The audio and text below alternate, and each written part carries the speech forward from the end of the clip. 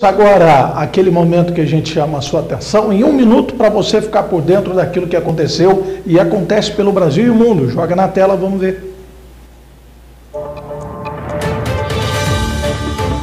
As urnas eletrônicas já estão em preparação para as eleições do próximo dia 2. O sistema que é utilizado desde 1996 no país passou apenas a ser atacado por Jair Bolsonaro, que alega que são flageladas por fraudes, mas sem nunca ter apresentado provas. Testes de segurança nos quais peritos em TI tentam entrar no sistema foram feitos sem resultado, pois as máquinas não ficam ligadas à internet durante a votação. Pfizer vai oferecer aos países de renda baixa e média a oportunidade de comprar até 6 milhões de tratamentos contra a Covid, alguns a preço de custo por meio do Fundo Global, anunciou o grupo hoje. Os tratamentos estarão disponíveis para 132 países a partir do fim do ano, em função das autorizações sanitárias e da demanda, informou a Pfizer.